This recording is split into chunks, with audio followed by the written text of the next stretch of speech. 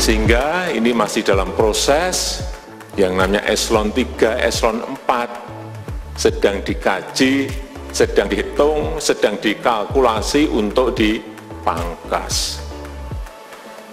Saya sampaikan mau diganti apa? Diganti yang sekarang sedang banyak dilakukan oleh negara-negara lain juga baru akan memulai mereka diganti artificial intelligence AI. Pemerintah kabarnya akan mengganti tenaga ASN dengan robot artificial intelligence atau kecerdasan buatan. AI disebut akan menggantikan pegawai eselon 3 dan 4 terkait tugas pelayanan dan pengolahan data yang awalnya dilakukan manual dan lamban menjadi lebih cepat dengan sistem yang canggih.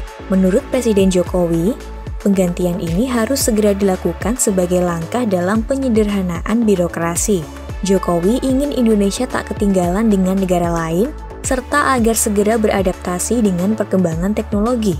World Economic Forum memperkirakan pada 2025, mesin akan mengerjakan tugas lebih banyak dari manusia, dibandingkan dengan 71% pekerjaan yang dilakukan oleh manusia saat ini.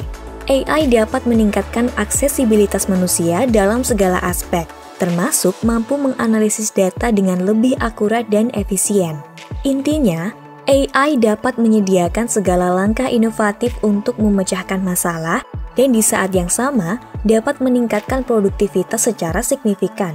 Menurut data dari Accenture Research dan Frontier Economics 2017 lalu, AI berpotensi meningkatkan produktivitas 40% bahkan lebih dan memungkinkan naiknya keuntungan bisnis 38%.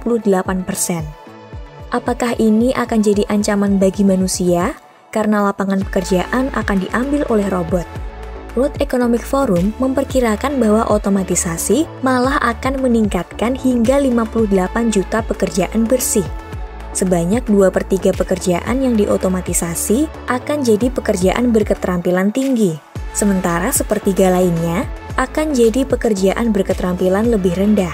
Otomatisasi akan membuat manusia mengerjakan sesuatu yang lebih menantang, seperti mengembangkan produk dengan lebih baik dan yang pasti mengelola robot itu sendiri. Untuk itu, manusia perlu mempersiapkan bekal keterampilan yang lebih tinggi.